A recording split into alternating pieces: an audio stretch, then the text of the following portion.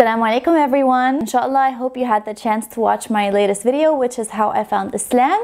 And like I promised, inshallah, I will be continuing this series with uh, life after Islam because I feel like this is the kind of topic like, um, you know, the happily ever after or the the end in the fairy tales. Like, what happens next? It's not just rainbows and butterflies. Life is, uh, you know, life can be really hard. After I converted, I didn't have any platform to kind of share my newly found beliefs and it was something that I felt like I needed to do. If at least I cannot share it with my family and friends at the time, I needed some kind of venue to share this like new identity that I had discovered. Uh, so I started Eslimah. So I started Eslimah and everything that I'm going to share with you henceforth um, came to me came to me one way or the other through my blog that I had started. And of course, I never intended to be a blogger or start a blog or anything. I just created this Eslimah to like, if I want to take a selfie in hijab or if I want to share a verse from like somewhere, I can do it. Your support was what kept me going in my hardest of times and especially as I had no Muslim friends in real life, I felt like my little mini ummah is in my phone or something. It sounds silly, but for me it was a big savior. So uh, I will start today, inshallah, with uh, telling you that after I converted to Islam, I fasted my first Ramadan in Estonia. And uh, like I told you in my last video, briefly, it was really difficult for me, especially because I had to hide that I'm fasting because my family didn't know yet. And uh, it was just very, very difficult. So I thought to myself, as much as possible, because Ramadan happened to fall every year at the time, on my uh, summer break. So inshallah, as much as possible, I would try my best to find a way to go abroad and to travel for that period of time just to practice my faith better, to make the most out of Ramadan. And uh, also because in Ramadan, I tended to want to be on my own. I wanted to read, I wanted to pray and uh, I didn't want my family to kind of have a negative connotation with Ramadan as if like that's the time when she becomes a loner and that's the time where she becomes like awkward and doesn't want to hang out. No, I wanted them always to think the best of the best about everything in Islam and because I was still showing them only like very small bits and pieces, I kind of needed my own space and time to reach a certain level in my faith before I was ready to, you know, deal with the rest of the world. And uh, so that's what I felt like I needed to do, and uh, I did it. Well, I guess it was in the cards for me, so God made it easy. And if you fight for something strong enough, and if, if you if you uh, believe in something, you know, strong enough, it it will happen, inshallah. So. Um, the two things that I decided was to leave Estonia for every Ramadan as much as possible and online at the at the time I'd read some kind of quote like why would you not wear hijab in Ramadan? That's only like fasting 50% or something. So at the time I didn't really know how to make a difference like what is the rightful knowledge and what is not. So kind of like whatever seemed legit um, you know, not necessarily that I would follow, but it would go in the back of my head. So this was one of those things. So I was like, oh my God, what if this quote is right? What if this? What if that? Like, I want to fast 100%. I want to do my best. Ah, so, and this is definitely no offense to anyone who doesn't wear hijab. I'm just sharing with my experience of what happened. So I thought to myself, okay, at least when I fast, I want to do it 100%. What does that mean? That means I want to also uh, cover myself when I fast. And of course, in Estonia, that was extremely difficult because we live in a country where, like, no. Uh, so, these were like the two things I decided for myself that as much as possible I want to implement, uh, no matter how difficult it is. So, the next year, Alhamdulillah, in university, my scores were good enough that one day I received an email that I would get tuition freedom from university because I am scoring top grades. So, Alhamdulillah, uh, my dad was the one to pay for my college tuition.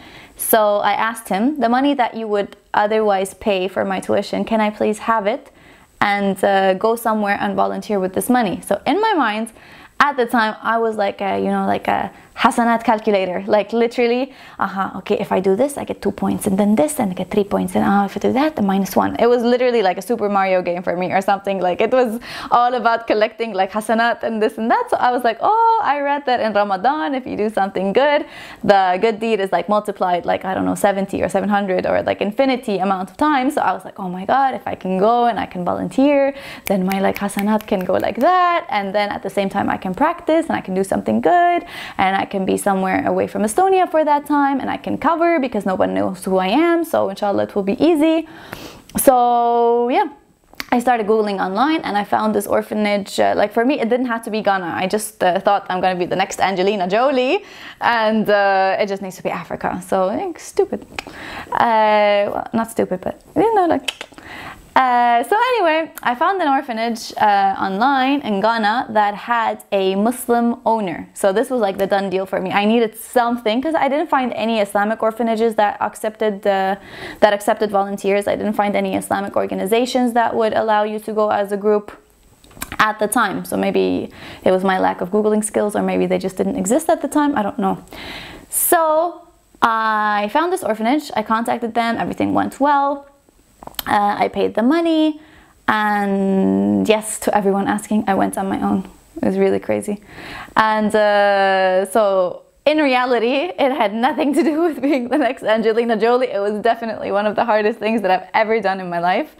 Um, but the number one reason actually that I went was, fortunately or unfortunately, it was for selfish reasons. I wanted to change the condition of my heart, kind of. I felt like everything that I have, I'm taking it for granted. I'm not necessarily grateful for anything, and I wanted that gratitude in my heart.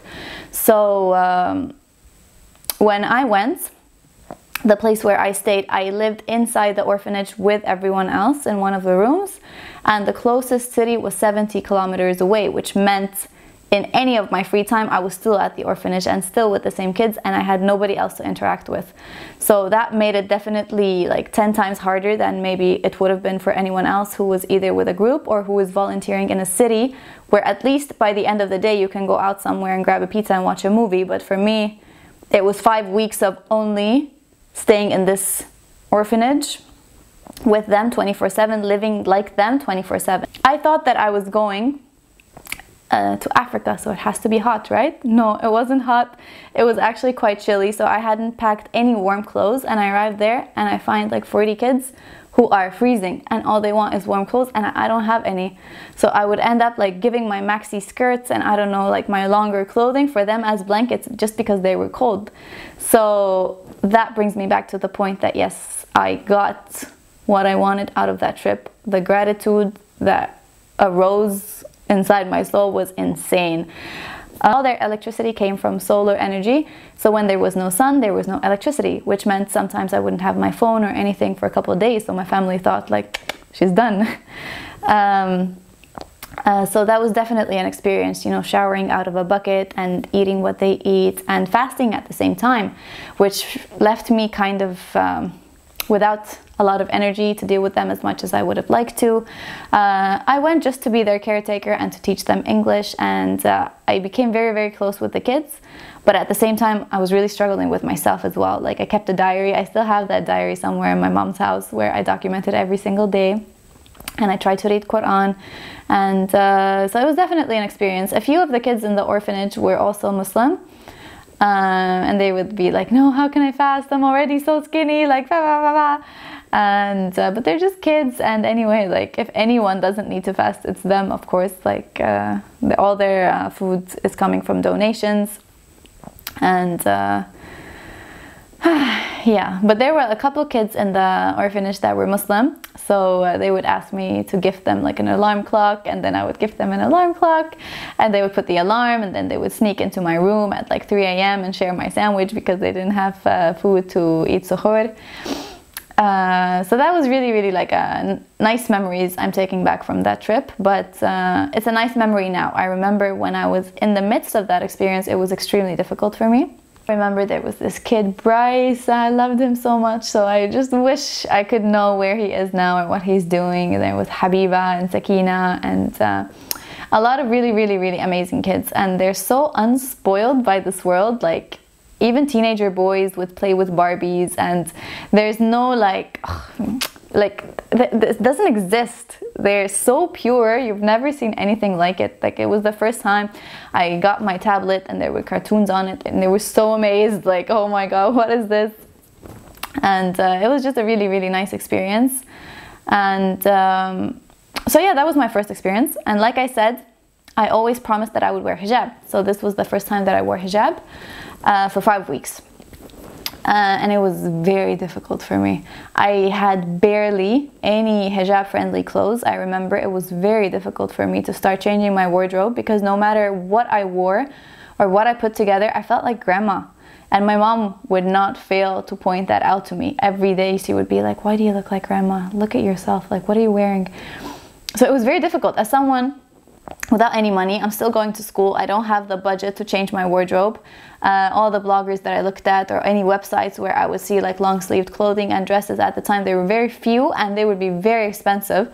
So I didn't have the budget even to change my wardrobe and I really didn't like to have like a a t-shirt cut and then like long sleeve. It was really I didn't like it. So and all of my wardrobe before Islam was like shorts, you know, like the length of someone's underwear or something and uh, tank tops and all of that stuff. So it was not easy the transformation definitely. So i remember that was a huge huge huge challenge for me at the time. I had maybe like a few scarves i got from ebay and uh, maybe a few like five ten dollar skirts i found online something used i think.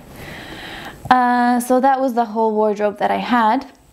And um, I remember when I met other volunteers, still I'm at a phase where I'm not, I believe very strongly, but my knowledge about the faith is not as strong yet. So when someone would attack Islam, I wouldn't be yet like equipped with the knowledge to uh, contradict what they're saying or like defend it in a way. And I really, really, really didn't like that phase. I felt like I need to learn and I need to learn quickly because if somebody says something, I need to be able to reciprocate a response. And I remember when other volunteers started coming in from uh, Holland and France and Spain, uh, and many of them were very like iffy about Islam, and some of them even anti-Islam at um, at some point. So I remember wanting to be more knowledgeable, and it was it was. Uh, it was hard. Uh, and I remember all the girls, you know, they were eating all day and they were in their shorts and swimming and bikini. And I had promised myself, even though I was not hijabi at the time, I had promised myself that I'm fasting, I'm going to do it right, I'm going to cover properly. Uh, so I remember it was the first time. It was very difficult for me. I, I felt, I remember I felt ugly. I felt, I felt out of place. I felt like, I thought I'm supposed to feel like I belong now, but I still don't feel like I belong. And it was just like a very big mix of emotions because for a long time within Islam, I didn't find my place in Islam. Like I would always see really extremist Muslims who are like everything is haram. And then on the other hand, all the Muslims that I felt are so cool to hang out with, but they don't necessarily practice almost anything. Like they don't pray, they barely if ever go to Jumu'ah maybe they fast. So and I, I, was at neither one of these extremes so it was very difficult at first for me to find a place like where do I fit in. So yeah that was Ghana. Uh, it was really nice. It was Ramadan. We collected a lot of donations from the Estonian community. Like everyone got a new mattress and um, yeah even though I took the pills I got malaria. So that was another thing. Like I'm all alone in the middle of Ghana and I got malaria. Um, but all in all, it was an experience that gave me a lot of gratitude. It uh, grew me a lot in appreciation, and uh, it's definitely something I'm really, really glad I did. And I'm glad I did it then when my iman was like over the roof because I don't know if I would be able to do it now. Like, if I ever went again, I would definitely want to go with a group. And um, yeah, inshallah, you never know. I would like to, but we'll see. So anyway, that was Ghana. So uh, went back to Estonia from Ghana, and uh, that was it. Continued my university uh, until the next Ramadan came. So of course, a lot of things happened in between, but I'm kind of sharing with you the highlights of the past five years. So the next Ramadan came, so I was like, okay, I need to prepare. Like, what, what, what's my next Ramadan? So next Ramadan uh, I was asking everywhere in the local Islamic center and everywhere like uh, where can I go, what can I do, I need to escape for Ramadan. And uh, alhamdulillah, I found an opportunity to study Arabic in Egypt. That is phase two.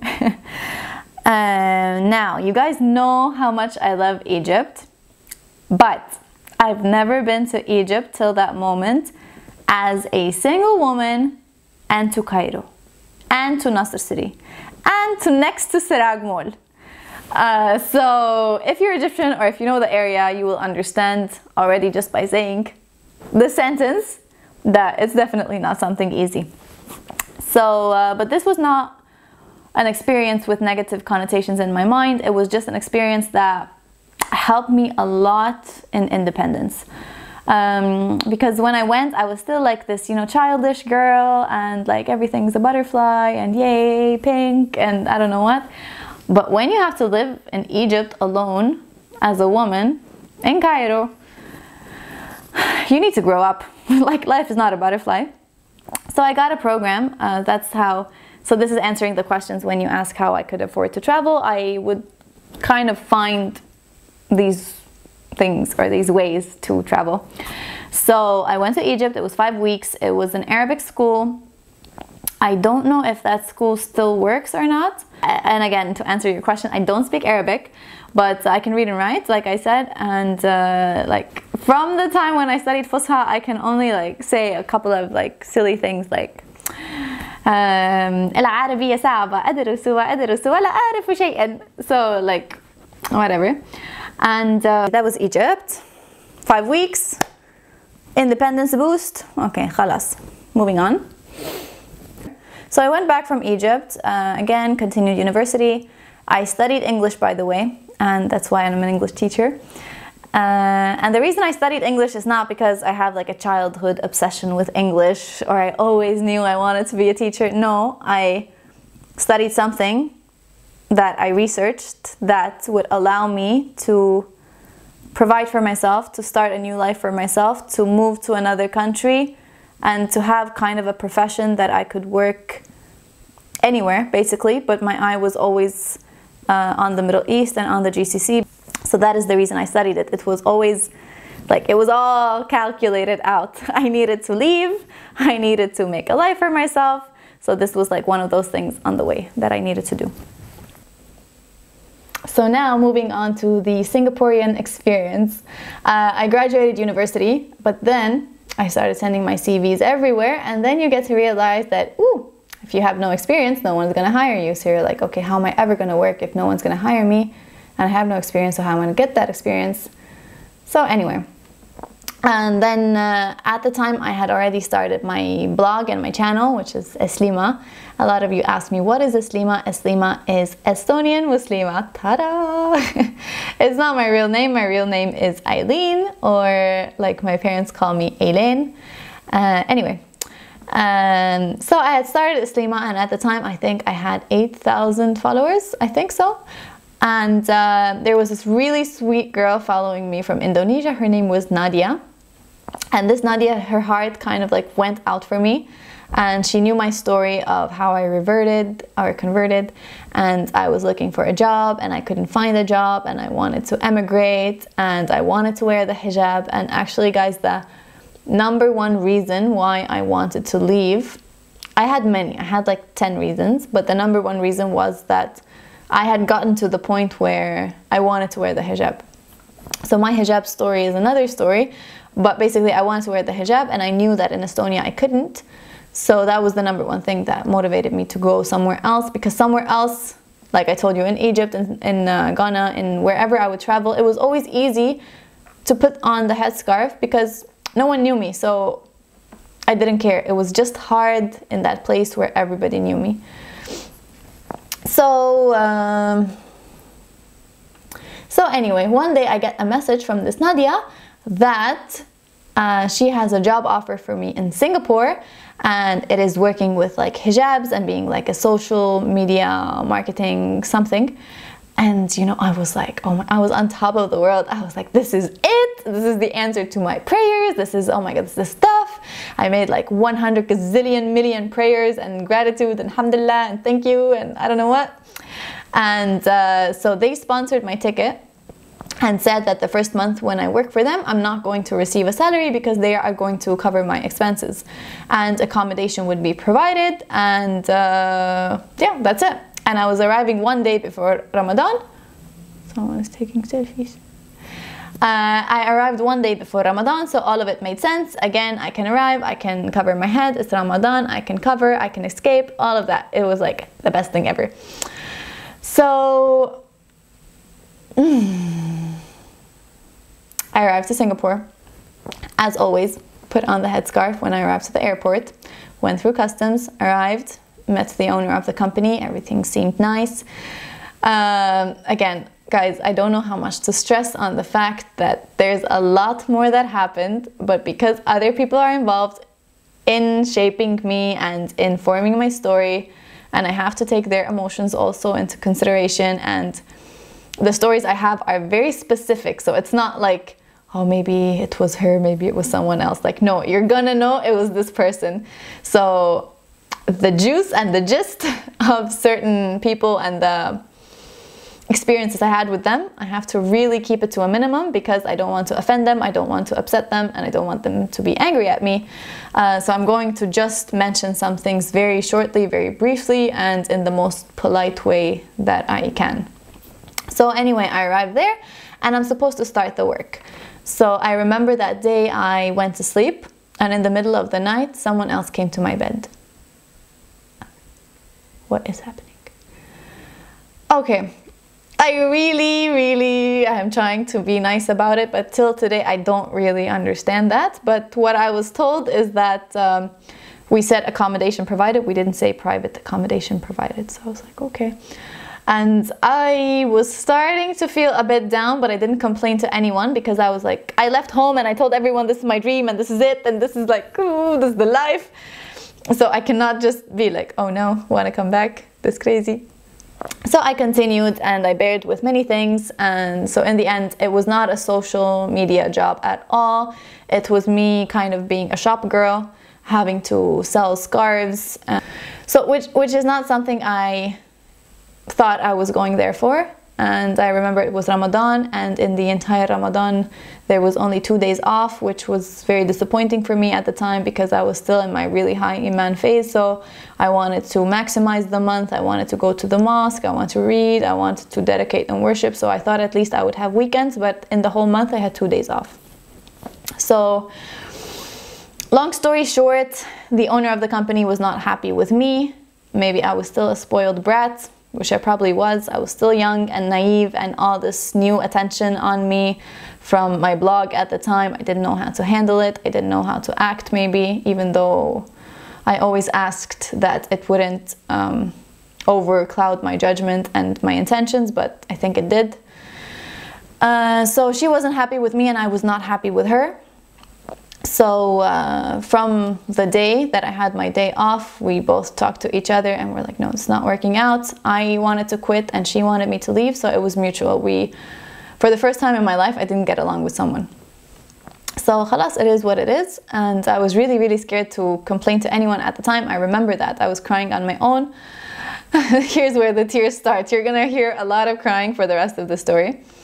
So we decided to go separate ways and um, I met two girls over there that became really close to my heart. In Tarawih, I met uh, an American convert, uh, Sarah. I love you, Sarah, if you're watching. And Mai, I miss you, Mai, if you're watching also. Uh, they were two really, really close friends over there who helped me through everything. And uh, I remember in Singapore, it was the first time in my life that I started to get noticed or recognized for my blog. I remember uh, I was in the Sultan Ahmed Mosque uh, for Tarawih, and suddenly someone's like, Eslimah! And you know, for me, I've never heard anyone say Eslimah out loud before. It's just my username. So I'm like, no, no, whatever. And I keep going and like Eslimah, Eslimah. And then I'm like, sounds familiar. Is it me? Like, so it, was like this phase where my blog kind of like started growing and started opening up and I started like meeting people from my blog. So it was definitely an encouraging move uh, in my story. And uh, yeah, so after that, a few days passed, and I was supposed to fly back home. And um, this was a time where, without intending to, which is the case in my life a lot of the time, I never intend on purpose to harm someone, but more often than not, it happens somehow yeah, we kind of went our separate ways. I was supposed to fly back to Estonia after a few days. Uh, but I had intended to be there for the entire month of Ramadan. But we had decided that we're not getting along and we don't like each other. Um, and I needed to go back early, which was a very big problem for me because I have that promise that I need to cover the entire Ramadan. And I am supposedly flying back for the last 10 nights. And I'm like, oh my God, I cannot remove my hijab. But before I got to that point, I, uh, I did something that was not very nice towards the owner of that company, and I didn't intend to. I don't know what I was thinking. Maybe I was just young and maybe really the attention overclouded my judgment. I don't know, but everyone makes mistakes. So I made a minor mistake and I upset her. And uh, the things that she would tell me after would haunt me for the next couple of years. How she will never forgive me and uh, like she hopes Allah will forgive me because she never will. And like for me that was something that pierced through my heart. Like I can remember for the next couple of years at Fajr time I would still every single night like keep praying like oh my god oh my god oh my god oh my god oh my god oh my god oh my god like if I die I cannot die. If she doesn't forgive me and please Ya Rabbi like please let her forgive me. And na na na na na na na. Um, it's not like I murdered someone but for her it was something that hurt her in specific. So uh, for the next couple of years, I didn't get her forgiveness. I would write her emails and I would try to contact her, but there was just no way back to her. So that was something that always weighed on my heart for the next couple of years. Um, but let's just keep it at this place right now whilst I continue this series of la la la la la until I reach Qatar and all the way in Qatar, this specific incident is going to find and resolve itself, but way later. So when I was in the airport coming back to Estonia, of course I cannot arrive to Estonia like all covered and all in hijab and everything. And I'm like, but I promised myself that every Ramadan I'm going to cover and it's the last 10 nights and la, la, la, la, la, la, I feel like such a hypocrite. So in the bathroom, in the Turkish airport because that's where my transit was. I'm about to take it off, and I'm like, I can't. And really, I'm like, I can't. I feel like a hypocrite. How? How can? And at the time, I'd already started my channel, so everyone knows me as if I'm hijabi. I never said openly that I was full time, but the guilt of other people thinking that I do commit to the hijab properly was definitely another push. So all of you guys actually motivated me to put on the permanent hijab. Uh, so yeah, I didn't remove it. I kind of did like a turban situation with like those uh, ninja like neck under scarves, and I thought I looked really cool. Like I have to share a picture with you guys. Like oh my goodness. And of course, the first thing I entered the Estonian airport, and they pull me to the side, and they're like, "Excuse me, miss, like who are you and what are you doing?" But alhamdulillah, I got past. And so for the rest of that Ramadan, I wore a hoodie on my head when I went out, or it was a colder summer, so maybe a beanie. Um, but most of the time it was a hoodie. But like my family was traveling at the time, I think, so it wasn't that big of a deal. And like if you wear a hoodie and like a tracksuit, people don't notice as much. And uh, subhanallah, like from that day in the airport, I never intended that this is going to be now the time that I start wearing hijab. But since then, I didn't really promise God that this is it. But that's the time I started committing to it full time.